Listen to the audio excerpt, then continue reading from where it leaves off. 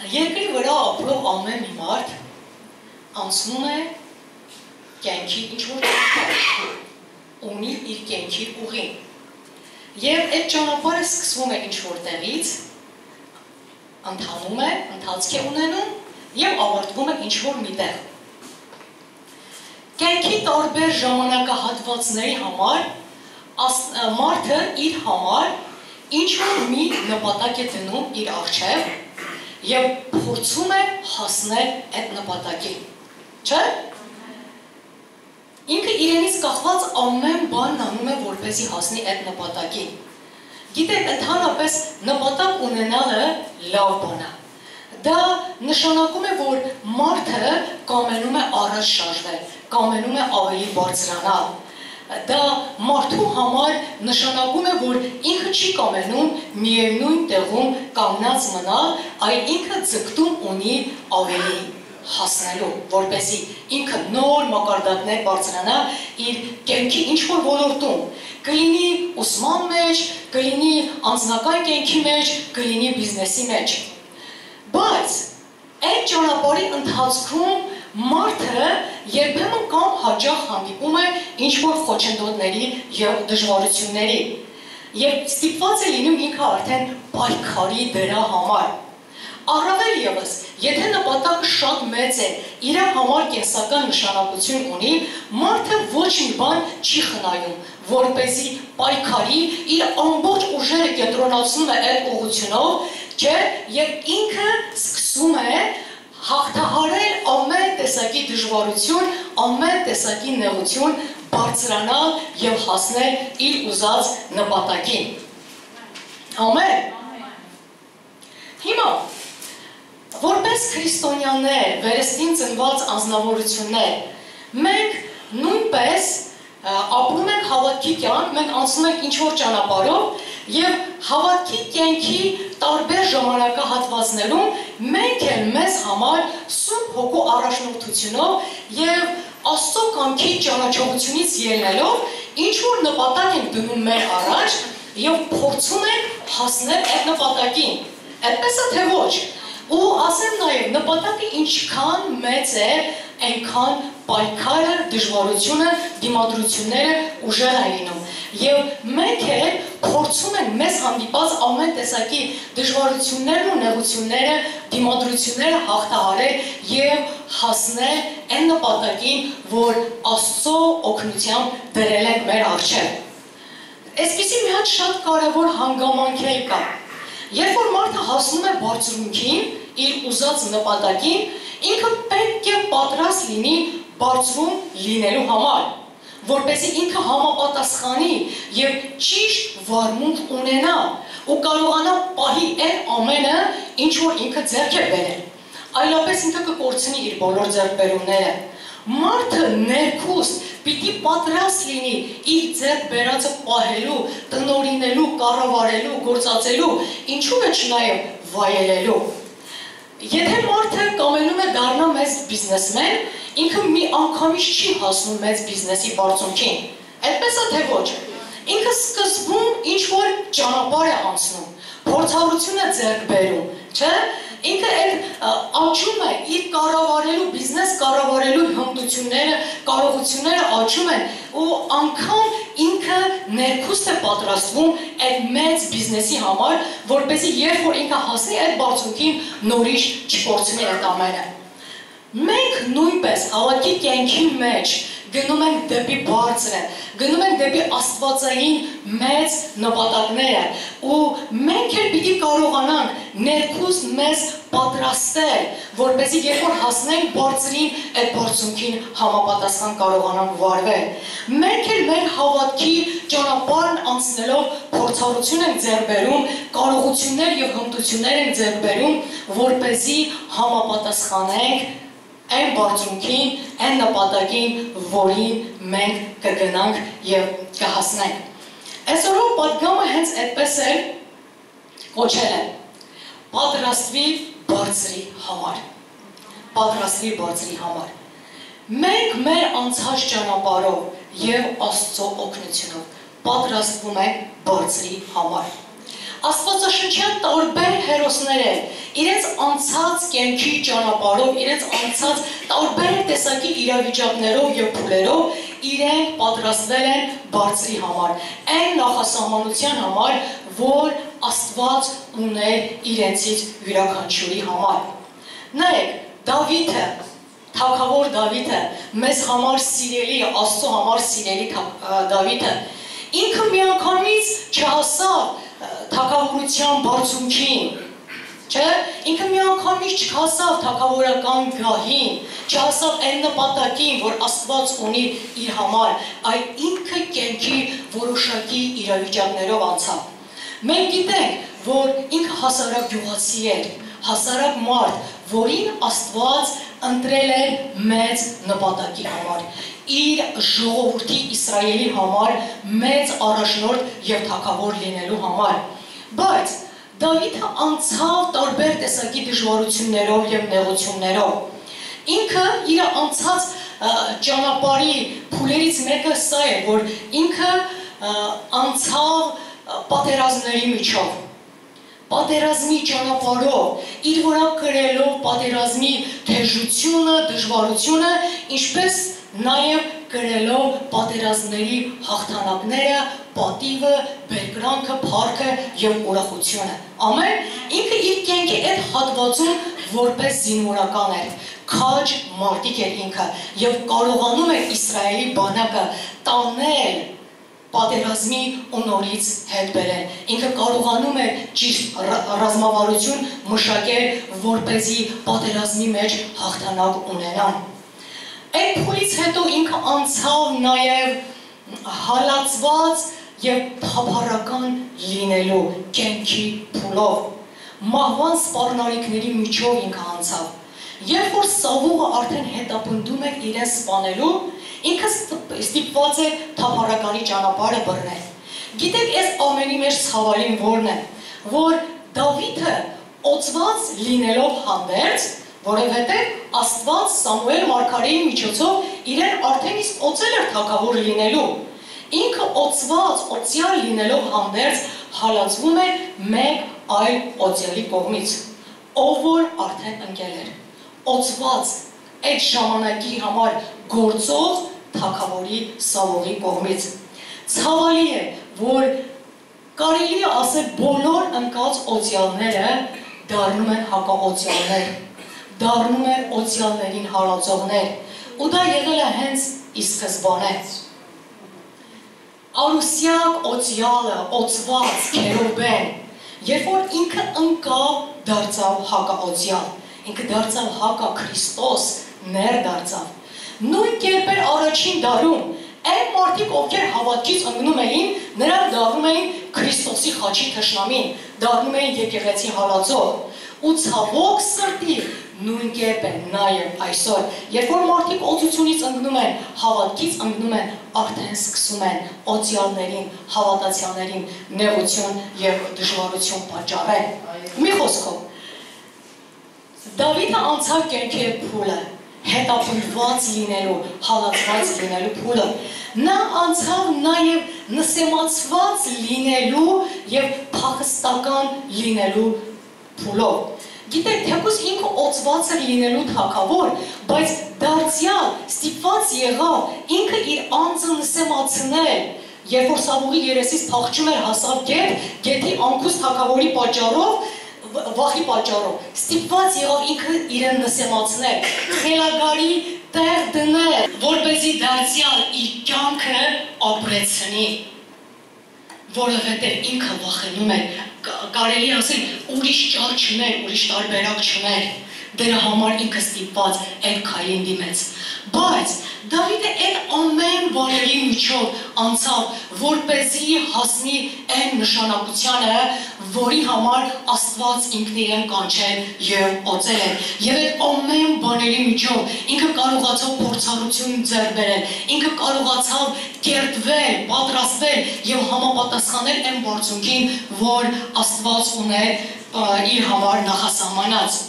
Հիմա Ես ու դու եք հավատքի կենքի ինչ որ ճանապարհով եւ իրավիճակներով ենք անցնում ու մենք էլ պիտի կարողանանք պատրաստվել մեր նշանակության համար, որովհետև Աստված է մեզ համար բարձր հոգի է պատրաստել։ Աստված մեզ համար ավելի մեծ ծրագրեր ու նպատակներ ունի եւ Աստված կամենում է մեզ տեղափոխել մի նոր ավելի բարձր մակարդակ։ Հովսեփը Հովսեփը նույնպես միանգամից չհասավ այն բարձր կոչմանը, կառավարիչ, մեծ կառավարիչ լինելու կոչմանը, որի համար Աստված իրեն կանչել էր եւ երազներով էլ հայտնել է։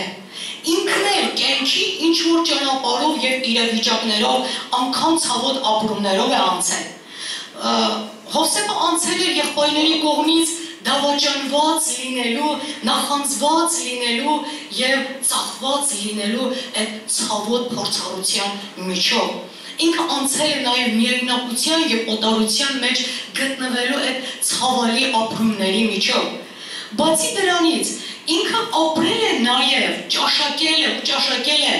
հոր սիրելիից մինչև ստրուկ լինելու ապրումները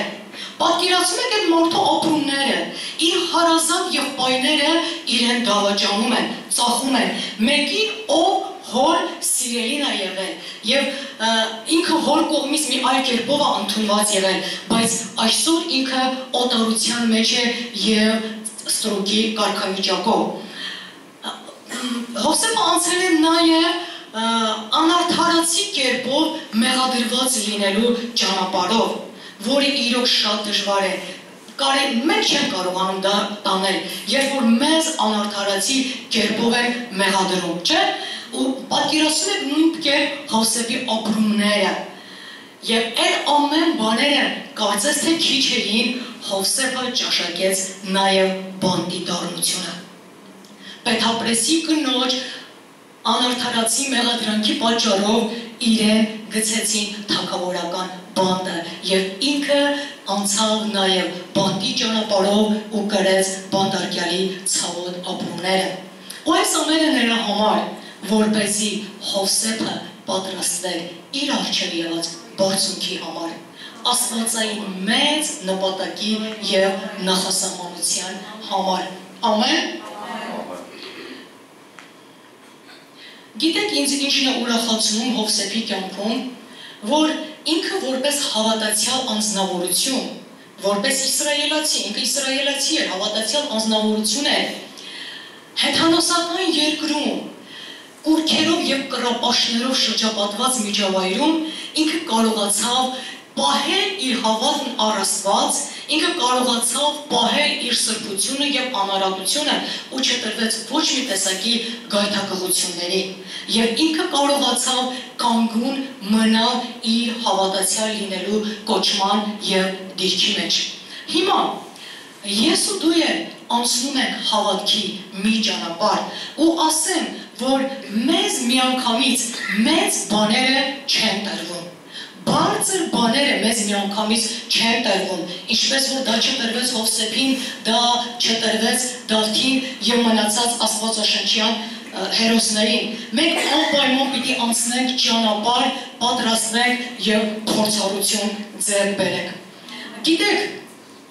Էլ ինչի համար է մեզ պետք, որ այդ ճանապարհը անցնենք, որպեսզի հասնենք այդ գերագույն աստվածային նպատակին, ոչ միայն այն որ մենք փորձառություն ենք ձեռք բերում կամ այդ դժվարությունները հաղթահարում ենք, անցնում ենք, այլ նաև նրա համար, որպեսի մեր տաղանդը զարգանա, Այն ինչի համար, որ մենք կանչված ենք, մենք դրա մեջ աճենք, մեր կոչումի տաղանդը զարգանալ, որպեսզի երբ որ արդեն լինենք բարձունքում, մեր կոչման մեջ լիարժեք դրսևորում ունենանք։ Նայեք, Դավիթը միանգամից թակավոր չեղավ, մեծ առաջնորդ չեղավ։ Նրան միանգամից չտրվեց թագ, գա ու գազան իշխելու համար։ Ոչ, նրա մեծ առաջնորդ լինելը սկսել է հոտից, հոտից, ոչխարների հոտից։ Ինքը սկզբում ոչխարներ էր առաջնորդում, ոչխարների հովիվ էր, ու ասեմ, որ հոտ առաջնորդելը, հենց ոչխարների հոտ առաջնորդել, առաջնորդներն են պատասխանատու գործ է։ Դա այդքան հեշտ կամ թեթև բան չէ։ Հովից պահանջում է խոհեմություն, իմաստություն, ջանք, որպեսզի կարողանա հոտի հետ ճիշտ վարվի, համապատասխան կերպով հոգ տանի եւ խնամի եւ կարողանա հոտին առաջնորդի դեպի խոտավեր եւ կենարար ջրերը, որպեսզի հովիվը կարողանա հոտին պահի, պաշտպանի ամեն տեսակի ճարիքից եւ փորձանքներից ու Դավիթը անցավ դրանով իր առաջնորդական հմտությունները սկսեցին զարգանալ հենց հոտ հողվելով։ Դրանից հետո ինքը դարձավ բանակի առաջնորդ, ես արդեն ասեցի, եւ իր առաջնորդական հմտությունները սկսեցին զարգանալ նաեւ բանակի առաջնորդ ղեկավար լինելու ընթացքում որովհետև իսկապես բանավ առաջնորդելը մեծ պատասխանատու ծառայություն է, ռազմավարություն մշակելը այդքան հեշտ բան չի։ Մարդը պիտի Աստծուց իմաստություն ունենա, որ เป զի կարողանա ճիշտ ռազմավարություն մշակի հաղթանակ ունենալու համար։ Ամեն։ Դավիթը երբ որ բանակ էր առաջնորդում, ինքը հիմնականում տղամարդկանց էր առաջնորդում, չէ՞։ Բայց երբ որ թակավոր լիներ,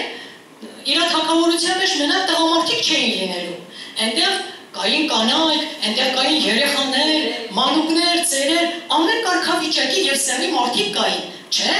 Դրա համար որպեսի Դավթի առաջնորդական հմտություններն ավելի զարգանան, Աստված տարավ առաջնորդելու մեկ այլ փուլի մեջ։ Բանակ առաջնորդելուց հետո Դավիթը սկսեց առաջնորդել մի խումբ վնասված մարդկանց մի բազմություն, բազմության իրենց ընտանիքներով հանդերձ, կանանց եւ երեխաներով հանդերձ եւ ինքը սկսեց հոգ տանել այդ մի խումբ մարդկանց համար, նրանց պաշտպանել, նրանց կերակրելու համար հոգ տանել, մի խոսքով նրանց կարիքները հոգալ։ Ինքը արդեն սովորեց կանանց հետ վարվել, երեխաների հետ վարվել, ճանաչել այդ մարդկանց կարիքները եւ ըստ այդմել կարիքի բավարարումը ապահովել։ Դրանից հետո, երբ որ Դավիթը այդ փուլներ անցավ, կարգվեց Հուդայի վրա թակավոր։ Նոր իրեն տրվեց թակավորական գահը եւ թագը ու գավազանը, բայց ոչ թե ամբողջ Իսրայել ազգի համար, իր կոչումը կանչը Աստծուց ամբողջ Իսրայել ազգի համար է։ Այդ ժամանակ ինքը նշանակվեց Իսրայելի ցեր մեկ ցերի միայն Հուդայի վրա որպես թակավոր, այդ ժամանակ է իր թակավոր լինելու հմտությունները ավելի զարգացան, ավելի աճեցին եւ բարձրացան եւ 7 տարուկես Հուդայի վրա թակավորելուց հետո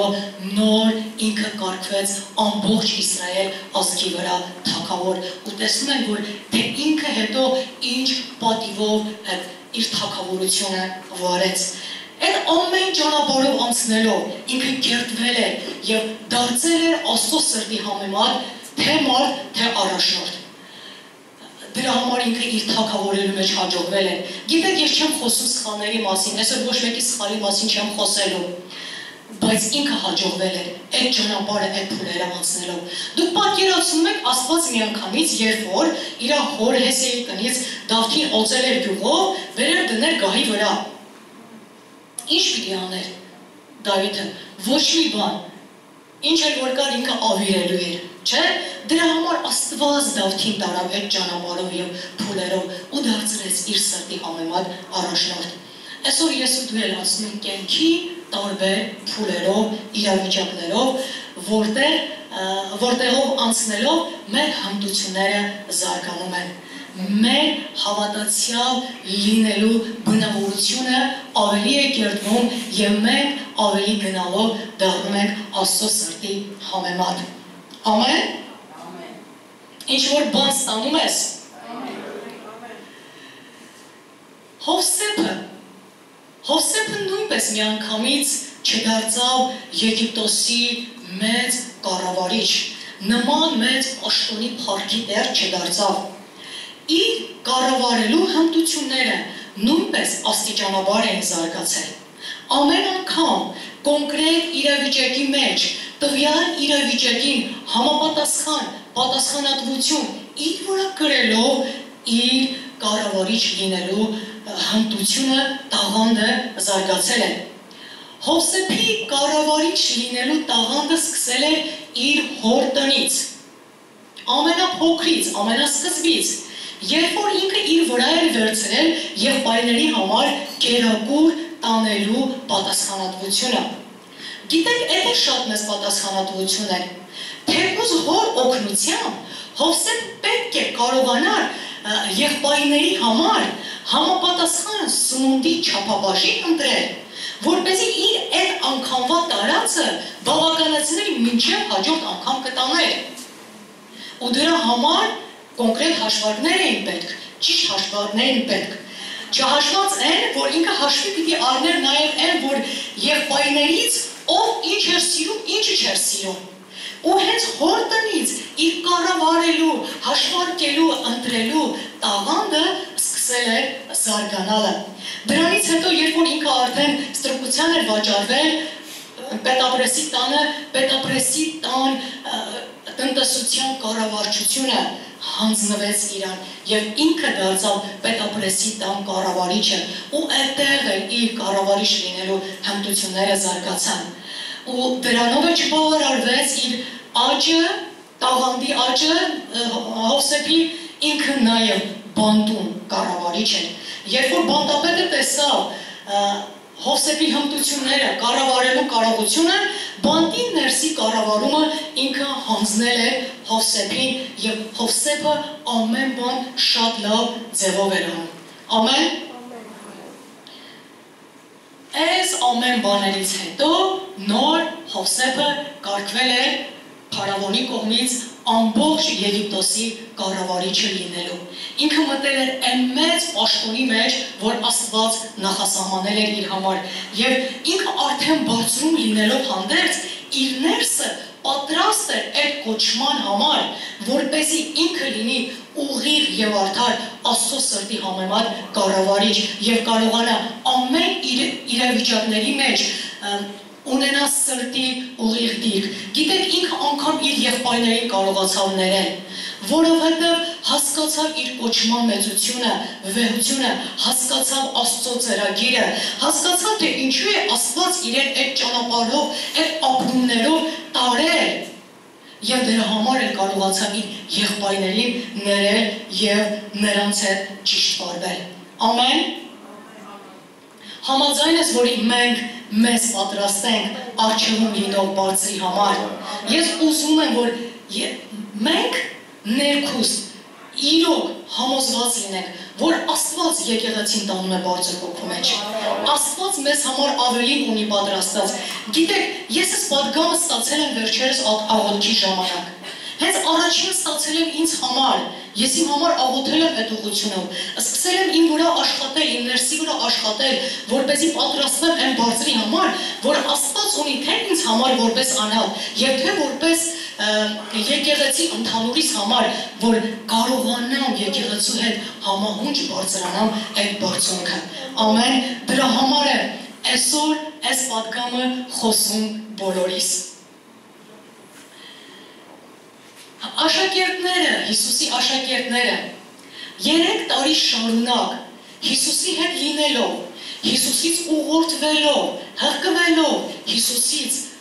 ուսուցանվելով, իրենք պատրաստվեցին Աստվածային այն մեծ կոչումի եւ բարձր մակարդակի համար, այն մեծ նպատակի համար, որի համար Աստված իրենց կանչել էր։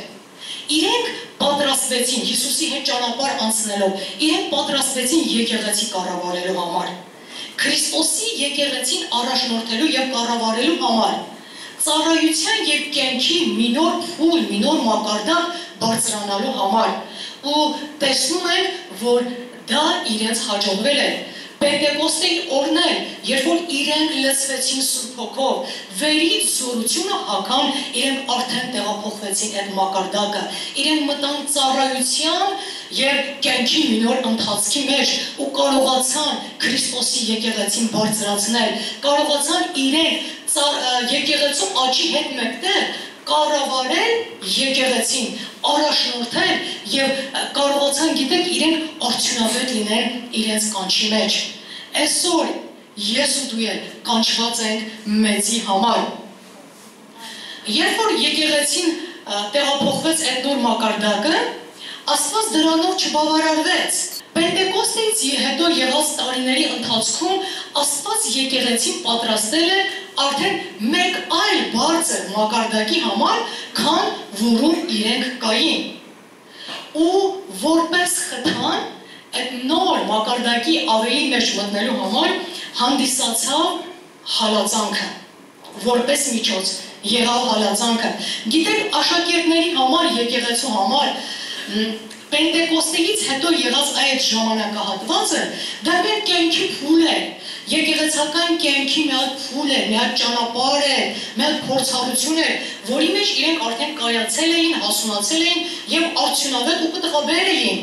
բայց Աստված չսահմանափակվեց դրանով ու չկամեցավ, որ իր եկեղեցին էլ դրանով սահմանափակի եւ դրա համար իր եկեղեցու համար ինքը մեկ այլ բարձր մակարդակ նախասահմանեց չափանիշը ավելի բարձրացրեց եւ հալածանքի միջոցով եկեղեցին տեղափոխեց այդ բարձունքը ինչ տեղի ունեցավ առաջին հայացքից առհասարակ հալածանքը թվում է թե իրենից չարիք է ներկայացնում։ Չէ, մենք որպես չարիք ենք դա դիտում, բայց հալածանքի պատճառով Քրիստոսի եկեղեցին տարածվեց աշխարհագրական նոր վայրերում եւ Աստծո արքայության ավետարանի падգամը ծրված հավատացյալների միջոցով տարածվեց տարբեր քաղաքներում եւ երկրներում։ Ու արդյունքում սա եղավ, որ հալածված եւ ծրված եկեղեցու միջոցով Աստծո արքայությունը տարածվեց։ Եվ եկեղեցուց է Աստծո արքայության համար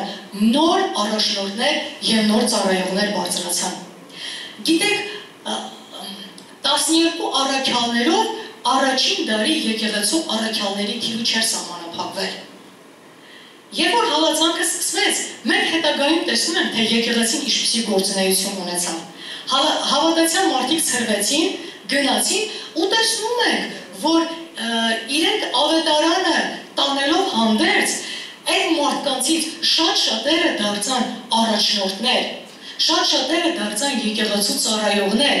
նոր առաքյալներ բարձրացան, նոր մարգարեներ, ավետարանիչներ, հովիվներ, ուսուցիչներ եւ տարբեր տեսակի ծառայողներ բարձրացան Աստծո արքայության համար։ Նրանք հիմնեցին նոր եկեղեցիներ եւ սկսեցին ու շարունակեցին հոգու զորությունով, հրաշքներով, նշաններով եւ առատ պտուղով ծառայել իրենց հիմնած եկեղեցիներում։ Ամեն փառք Տիրոջը այն ամեն բանի համար, որ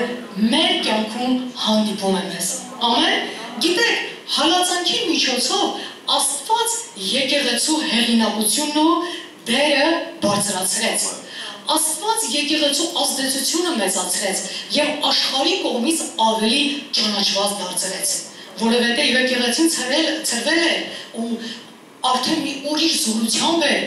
գործում եկեղեցին ծրված մարդիկ մի ուրիշ զորությամբ էին գործում եւ իրենք աշխարհի համար ավելի ճանաչելի դարձան ու թեև սատանան թշնամին հալածանքի միջոցով փորձում է եկեղեցին կործանել եւ հավատացյալներին ցրել եկեղեցին բնաջինջ անել, բայց Աստված չարը բարիին գործածելով մենք տեսնում ենք, որ արդյունքը ավելի մեծ եղավ։ Եվ եկեղեցին որպես ամբողջություն նոր մակարդակ բարձրացավ եւ անհատները բարձրացան Աստծո արքայության համար ծառաներ եւ առաջնորդներ լինելու մակարդակ։ Ու գիտեք ինչպես է, եկեղեցին թեև հալածված հալածված է, բայց Աստծո երեսից անկաշ չէ։ Աստված օգնում է իր եկեղեցին, պահում է եւ բարձրացնում է։ Նայեք, եթե եկեղեցին պատրաստ չլիներ այդ հալածանքի համար, եթե ծրված քրիստոնյաները պատրաստ չլինեին այն նոր մակարդակի համար, որ արժևում կա, իրենք չէին հաջողվի։ Այսինքն հալածանքը կգար, իրենք կցրվեին, կգնային, բայց անարդյուն կլիներ։ Չէին կարողանա ավետարանը տանել, չէին կարողանա նոր եկեղեցիներ հիմնել, չէին կարողանա այդ բարձրի մեջ արդյունավետ լինել։ Իրենք նախապես պատրաստված էին։ Այն որ իրենք ամեն ժամանակ եկեղեց Երուսաղեմում լինող եկեղեցիներ հավաքվում էին, ծառայությունների մասնակցում էին, իրենք այդ միջոցով պատրաստվել էին հենց այդ հալածանքի համար նոր մակարդակ տեղափոխվելու համար եթե իրենք առաքյալների հետ Քրիստոսի հենց այդ 12 աշակերտների հետ միաբանված չլինեին եւ առաքյալների կողմից քարոզված խոսքով չզորանային, սուրբ հոգով չլցնեին ու առաքյալների միջոցով փոխանցված Քրիստոսի վարդապետության մեջ չհաստատվեին, իրենք հաստատ չէին հաջողվելու բայց փառք Աստծուն, որ իրենք այդ ամեն ճանապարհով, պատրաստման ճանապարհով անցնելով իրենք արդեն պատրաստ էին այն բարձունքի համար, որի մեջ Աստված հալածանքով գցել էր, բարձրացրել էր ու դրել էր իրենց այդտեղ։ Ամեն։ Մենք նույնպես կանչված ենք անցնելու հավատքի կյանքի ինչ որ ճանապարհ, հաղթահարելու մեր արժև եղած բոլոր դժվարությունները եւ պատրաստվելու հենց մեր ներսը պատրաստելու մեծի համար արժևում լինող աստվածային գերագույն նպատակի համար այն արտնության համար, որը որին մենք սպասում ենք, որի համար աղոթում ենք եւ մեր ներսը փափագում է։ Գիտեք, երբ որ արտնությունը գա, երբ որ արտնությունը գա, աստծո արքայությունը տարածվի, մենք նույնպես շատ ծառայողների եւ առաջնորդների կարիք են ունենալու։ Այն որ մենք ունենք առաջնորդներ ու ծառայողներ եկեղեցում, քիչ է, չի բավականացնելու արտնությանը։ Մենք մեզ պիտի պատրաստենք մեզնից յուրաքանչյուրը բարձրում լինող, այդ արտնության համար լինող Աստծո ծառա, Աստծո արքայության առաջնորդ լինելու բարձունքի համար։ Գիտեք, սա մեզ համար փափակ պիտի լինի, որովհետև Դա Աստծուց պատիվ է մեզ տրված լինել իր արքայության առաջնորդ։ Պատկերացնեք, երբ որ արտությունը գա, բոլոր sense գյուղերով տարածվի, մեր շրջանով տարածվի, տնային խմբակներն ավելանում, ավելանալու են, երիտասարդները, պատանիները, մանուկները ավելանալու են, ու մենք նոր առաջնորդների կարիք ենք ունենալու։ Դրա համար այսօր կոչ եմ անում Աստծո հոգով։ Եկեք ես ու դու մեզ ավելի ու ավելի պատրաստենք բարձրի համար եւ չբավարարվենք այն ամենով, ինչին մենք հասել ենք կամ ինչ որ մենք ունենք։ Ամեն ու իմանանք նաեւ սա, որ դեպի բարձր ճանապարհը, դեպի նոր մակարդակ ճանապարհը միշտ անցնում է դժվարություններով։ Հաստատ դժողքը սավուղի պես կլինի իմ ու քո հետևից մեզ հալածելու, մեր կյանքում խոչընդոտներ առաջացնելու։ Ինչ որ մեկը պետապրեսի կնոջ պես կհայտնվի մեր կյանքում, որպեսի մեզ գայթակղի, մեղքի մեջ գցի, չէ, որպեսի մեր սրբությունը կորցնենք կամ ինչ որ մեկը հենց հալածան կսկսի մեր դեմ, ինչու, որպեսի մեր ուշադրությունը շեղի,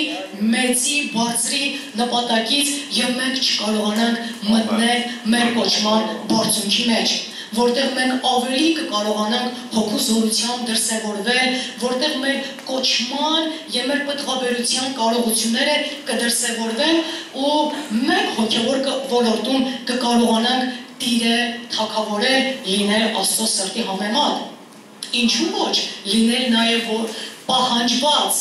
թե եկեղեցի եւ թե անհատներ։ Թշնամին դժողքը դրա համար է նմանատիպ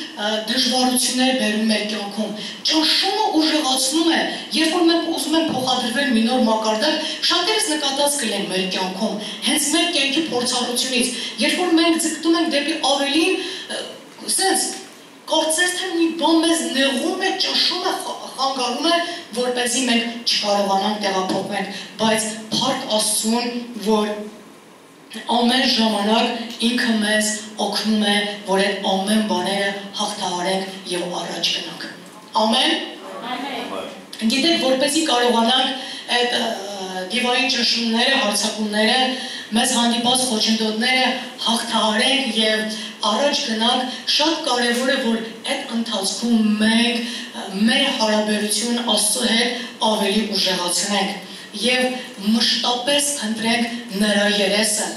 այդ վիճակներից դուրս գալու համար Աստծուց զորություն խնդրենք, համբերատար լինենք, Տիրոջ օգնությանը սպասենք, նրան հուսանք եւ ամեն ժամանակ կարողանանք նրան ապավինելով դուրս գալ այդ վիճակներից։ Ամեն։ Գիտեք, ինչքան էլ որ դժողքի հարցակումը մեզ վրա ուժեղանա, Աստված միշտ մեզ հետ է այդ ամեն իրավիճակներից անցկացնելու համար։ Ու դա մենք տեսնում ենք Դավթի կյանքում, տեսնում ենք Հովսեփի կյանքում, տեսնում ենք եկեղեցու կյանքում։ Նայեք, Դավիթը երբ որ այդ ամեն բաների միջով անցավ, չէ, Տերը իր հետ է, իրեն օգնելու, պահելու, պաշտպանելու, անգամ այդ ճանապարհների մեջ իր կարիքները հոգալու, կերակրելու, զենք չկար, զենք տալու, հաց չկար, հաց տալու, չէ, պատերազմների մեջ հաղթանակ շնորելու, թագով պսակելու եւ գահի վրա հաստատելու։ Աստծո ձեռը, Աստծո ներկայությունը, ողանավորությունը ամեն ժամանակ Դավթի հետ է եղել։ Հովսեփի հետ է եղել, թեպուս ինքը այդ դժվարությունների միջով էր անցել եւ հենց ծնունդոս գրքի մեջ 39-րդ գլխում մի քանի անգամ հենց գրում է, որ Աստված Հովսեփի հետ էր նրան հաջողելու, նրան ողորմություն ցույց տալու, նրան մարդկանց առաջ շնորհ գտնել տալու համար։ Եվ այս դրա համար էլ ասում է, որ Եհովան Հովսեփի հետ է եւ նա հաջողված մարդ է։ Ու դա բոլոր մարդիկ տեսնում էին։ Պետապրեսը, Պետը ու մնացած մնացած մարդիկ փարավոնը ամենքը տեսնում էին դա, որ Աստված Հովսեփի հետ է։ Աստված հենց առաջին դարից սկսած բոլոր ժամանակներում եղել է իր եկեղեցու հետ։ Իր եկեղեցու եկեղեցին պահելու, օրհնելու, սատարելու, բարձրացնելու Աստված իր եկեղեցու հետ է եղել արդյունավետ դարձնելու, եկեղեցու սահմաններն ընդարձակելու, եկեղեցու միջոցով իր ծրագրերը իրականացնելու, նպատակներն իրականացնելու։ Աստված ամեն ժամանակ իր եկեղեցու հետ է որպեսի եկեղեցու միջոցով իրեն հայտնի աշխարհին եւ վերջապես է սրբելով կատարելության հասցնելով իր հետ վերցնի երկինք։ Եկեղեցին Քրիստոսինն է եւ Քրիստոսի մեջ է։ Ամեն։ Եվ Տերը գիտի սատարել իր եկեղեցուն ամեն իրավիճակների մեջ։ Հիմա մենք էլ դեպի բացրը ճանապարհի մեջ ենք։ Չէ՞։ Թշնամին էլ մեզ դեմա դուրս եկել մեզ հալածում է, ես անգամ համարցակում եմ այդ խոսքը օգտագործեմ։ Գիտեք, որ ասում եք հալածեն պարտադիր չի, հիմա պետությունից, կառավարությունից գան, մեզ բռնեն, տանեն, բանտարկեն, սպանեն, չէ, եկեղեցու դեմ, մեր դեմ ինչ որ դժվարություն եւ նեղություն է բարձրացել։ Բայց գիտեք, չի հաջողվելու դժողքին։ Ինչու՞։ Որովհետև Աստված մեզ հետ է եւ մենք էլ իր հետ ենք։ Մենք այս իրավիճակներով անցնելով Աստծո երես ենք փնտրում։ Նրան ենք հուսացած, նրա առաջնորդությունն ենք խնդրում, նրա զորությունն ենք խնդրում եւ հավատում եմ, որ Աստված այս ամեն բաների վրայով մեզ անց է կացնելու եւ մեզ ավելի է բարձրացնելու, աշխարհի կողմից ավելի է ճանաչված դարձնելու եւ մեր սահմանները ընդարձակելու է ու մեր դիրքը, հեղինակությունը հոգևոր ոլորտում ավելի եւ ավելի է բարձրացնելու։ Թող օրհնյալ լինի նրա անունը։ Թող որպեսի ոչ մի բանը, ոչ մի իրավիճակը մեզ չընկճի։ Դժամին գազազել է, դժողքը գազազել է նրա համար, որովհետև մենք տեսել ենք բարձրում լինող նպատակը, այս եկեղեցու համար եղած կոչումը եւ մենք քչով մեր եղած մակարդակով չենք բավարարվում, այլ ցկտում ենք դեպի բարձրը, դրա համար ինքը փորձում է մեզ խոչընդոտել տարբեր տեսակի իրավիճակներով եւ մեր ուշադրությունը գլխավոր նպատակից շեղել բայց փառք Աստծուն, որ Աստված թույլ չի տալիս, որ մենք շեղենք այդ նպատակից։ Ամեն։ Մի բան էլ կասեմ եւ աստիճանաբար կավարտեմ։ Օրհնվում ես։ Ամեն։ Ներսումդ վարվում է ցանկությունը փափագը դեպի առաջ գնալու միացած նոր նպատակ, տեսիք ունենալու։ Հիմա որպեսի կարողանանք ինքներս մեզ պատրաստել արխիվում գտնվող նոր մակարդակի համար, նախ մեզ պետք է որ մենք կարողանանք տեսնենք արխիվում լինող մեծը, այդ նոր մակարդակը, բարձրը կարողանանք տեսնել։ Մեզ դրա համար տեսնող աչք է պետք է։ Եվ պետք է որ այն ինչ որ արդեն կտեսնենք, մեզ համար դարձնենք նպատակ եւ ձգտենք որպեսի հասնենք դրան տեսնելը եւ ձգտելն է, որ մեզ տալու է ներքին ուժ եւ կարողություն, որպեսզի հաղթահարենք մեզ դեմ ելած ամեն հակառակություն ու դիմադրություն եւ մեր արժեվում եղած ճանապարհը անցնենք։ Եթե չկարողանանք տեսնենք, հաստատ մենք հուսահատվելու ենք, հիասթափվելու ենք եւ չենք կարողանալու հասնենք վերջնական նպատակին։ Դավիթը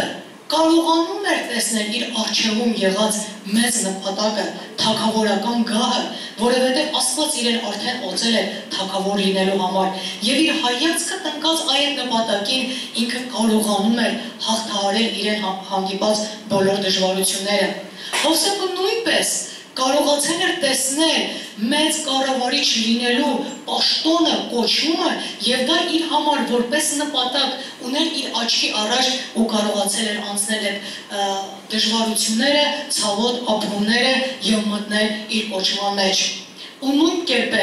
Աստծո եկեղեցին է բոլոր դարերում։ Եկեղեցին ունի Աստծուց տրված տեսիք, ունի Աստծուց տրված կոչում եւ դրա համար է եկեղեցին կարողանում առհասարակած Քրիստոսի եզերական եկեղեցին կարողանում դիմակայել դժողքի հարցակումներին եւ մտնել այն նպատակի մեջ,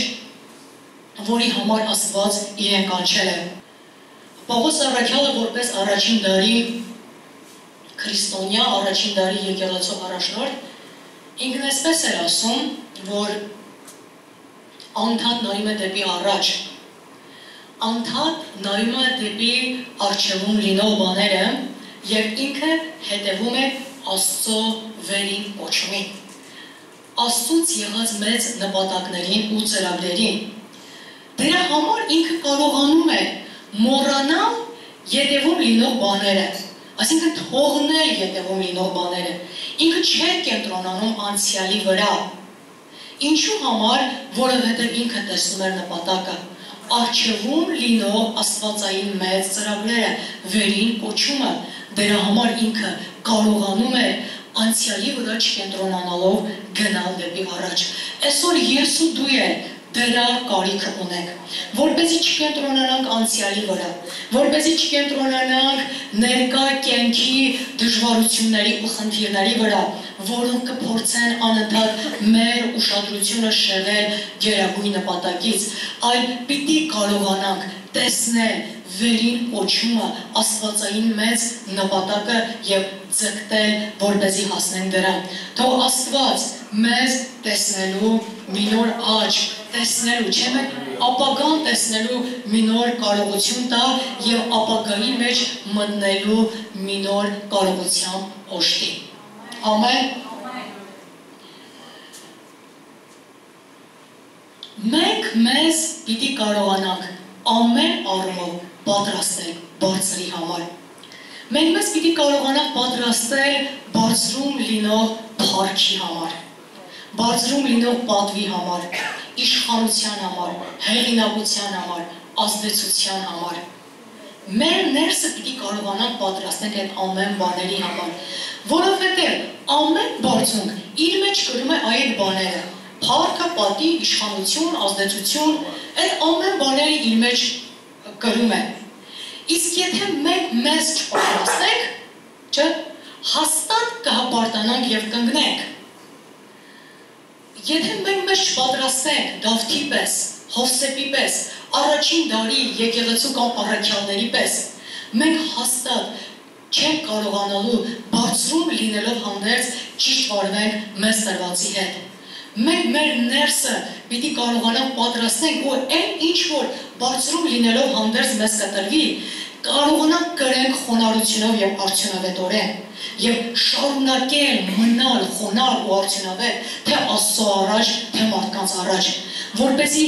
մեզ տրված ամեն բանը ծառայեցնենք այն նպատակներին, որի համար Աստված է մեզ տվել։ Մեզ տրված փառքը պիտի վերագրենք Աստծուն, ոչ թե մեզ, չէ, եւ այն մեծությունը, որ կունենանք, այդ ամենը պիտի ուղենք դեպի Աստծո անունը եւ ոչ թե մեր անունը։ Թող Աստված օրհնի մեզ։ Գիտեք, երբ որ Դավիթը անցավ այդ ամեն ճանապարհներով, իր ներսում հենց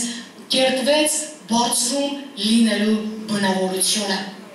Ինքը ձեռք բերեց բարձրում լինելու համապատասխան մտածելակերպ ներքին վիճակ, վարմունք, հասկացողություն, հմտություն, համապատասխանություն,